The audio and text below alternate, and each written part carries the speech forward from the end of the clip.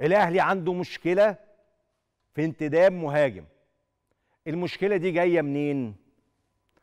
جاية إن طموحات وتوقعات النادي الأهلي بقت أكبر من الأسماء اللي بيجيبها دي كلها. يعني إيه؟ يعني دول ينفعوا في البطولات المحلية والأفريقية. أنت دلوقتي بقى أهدافك عالمية.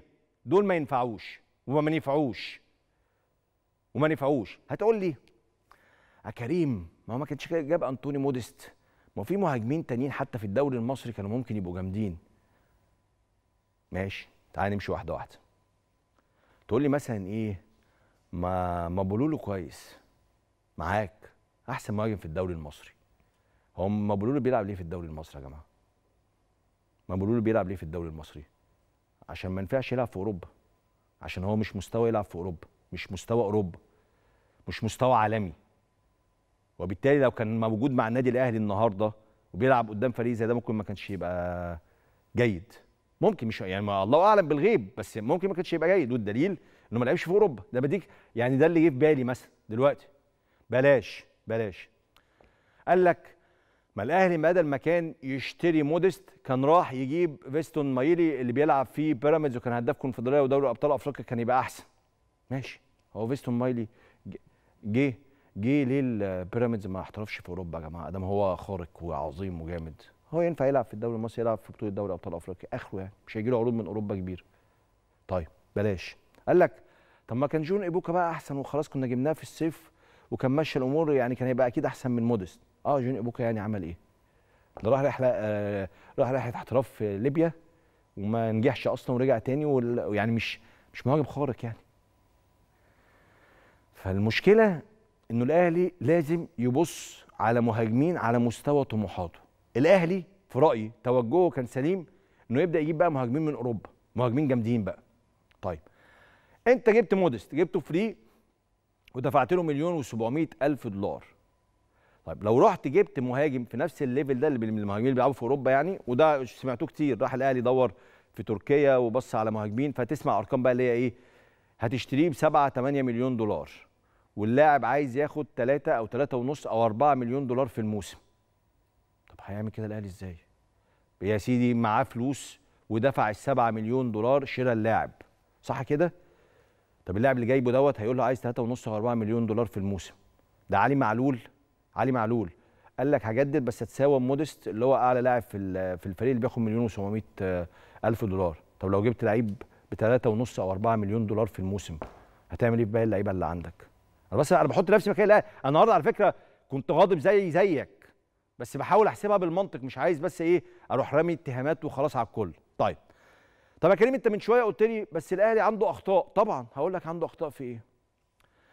زمان الأهلي لما كان بيجيب مهاجمين كان يروح يجيب فيليكس. عنده 17 سنة. يروح يجيب فيلافيو قبل ما أي حد في, أفريقيا أو في في أوروبا يحسوا بيه. كان يروح يجيب لعيبة من النوعية ديت. فيبقى البداية عندك من وهو صغير. الأهلي المفروض يعمل كده. اللعيب اللي موجود في القاره الأفريقية قبل ما أوروبا تشم ريحته وتحس إن هو كويس فيطلع على أوروبا ما يجيلكش حاول أنت تروح تخطفه. واصبر عليه. واصبر عليه. هتكسب حاجتين. هتستفيد منه فنيا وهتستفيد منه تسويقيا بعد كده. لكن عشان أنت تروح تجيب مهاجم من القارة الأوروبية يكون حتى أفريقيا بس بيلعب في القارة الأوروبية هتدفع فلوس كتيرة قوي قوي وفي الغالب هيطلع زي مودست. مخلص زهق من الكورة مش عايز يكمل في أوروبا فعايز يتقاعد. فأنت لازم تجيب من أفريقيا من تحت قوي. تنزل تحت كده وتشوف الشباب الصغير. فين الكشافين؟ أنا أنا أنا مع كامل الاحترام يعني. في team كشافين scouting في النادي الأهلي. هم دول بيدوروا على لاعبين بس موجودين في أوروبا وبيلعبوا في أندية كبيرة وبتاع عشان الأهلي يجيبهم؟ لا. ده دورهم الأساسي يدوروا على اللعيبة اللي مش متشافة ومحدش يعرف عنها حاجة.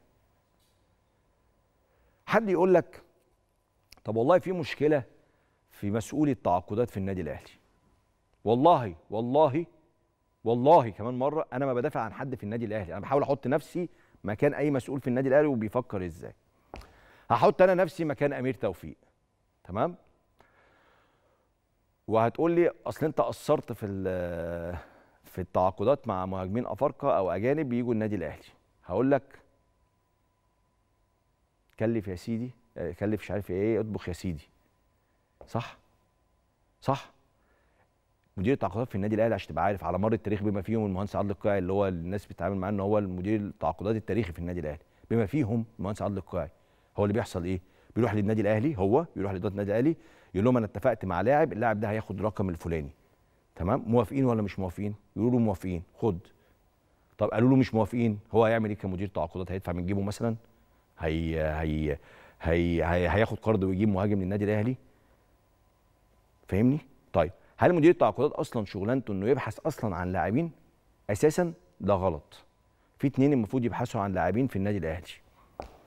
المدير الرياضي المفروض هو مدير الكورة ده واحد. اتنين فريق السكاوتنج. فريق الكشافين. هم دول يبحثوا عن اللعيبه وبعد كده يقولوا لمدير التعاقدات لو سمحت روح تفاوض معاه. لكن الحتة دي فيها خلل ما. لازم النادي الأهلي يعدلها. ولازم النادي الأهلي يجيب مهاجم. ولازم النادي الأهلي يجيب مهاجم في يناير. لازم. وأنطوني موديست مش هينجح في النادي الأهلي. ربما لعدم انسجام لعدم انسجام مع الأجواء آه طلع لا يصلح. ما هو برضو أنا أصل ناس تقول لك إيه؟ ما هو الأهلي أخطأ في أنا جايب لعيب عنده صليب يا جماعة. ده لعيب كان لسه بيلعب من كام شهر في الدوري الألماني. يعني ما هو غريبة بصراحة. طيب أصله هيعد يعني إيه؟ اصله ده كان آخر موسم ليه في الدوري الألماني والأهلي جايب لعيب مخلص. ده حتى لو مخلص ده حتى لو مخلص يعني كنا شفنا منه نفحه ده اللعيبة المعتزلة اللي كانت بتلعب في أوروبا لما بينزلوا يلعبوا مباريات خيرية. في أنتوا المباريات الخيريه يقول لك فريق نجوم آه، زملاء زيدان وفريق زملاء مش عارف ريال مدريد التاريخي لما بينزلوا يلعبوا بيأدوا أحسن اللي هم بيبقوا معتزلين من زمان بيأدوا أحسن من مودست. فمودست حكايته اتصور لا بدنية ولا فنية هي حكايته عدم انسجام مع الأجواء تصوري. زي اللعيبة المصرية كده اللي بتسافر أوروبا بتبقى مميزة جدا هنا ما تنسجمش في أوروبا فبترجع على طول. مش إن هي عشان اللعيبة مش كويسة عشان ما عرفوش ينسجموا مع الأجواء. اتصور إن هو ودي الحكاية ولازم نقولها بصراحة يعني. نادي الأهلي وده خبر بقى بيدور فعليا عن مهاجم يضمه في شهر يناير اللي جاي. بس الأهلي مش حاطط بادجت كبير عشان يناير. يعني مش حاطط ميزانية كبيرة للاعب الجديد وبيحاول يدور كمان على لاعبين عقودهم بتخلص أو فاسخين عقودهم في أوروبا ويدفعوا له العقد بتاعه السنوي. وتحديدا لعيبه أفارقة. الاهلي هيجيب مهاجم في يناير. أنا بأكد لك هيجيب مهاجم هيجيب مهاجم. مش هينفع يكمل بمودست مش هينفع يكمل بكهرباء لوحده مش هينفع يكمل بصلاح محسن. لو تع... لو تسامح معاه مثلا مارسيل كولر الوضع بالنسبة لهجوم النادي الأهلي فيه مشكلة. طيب.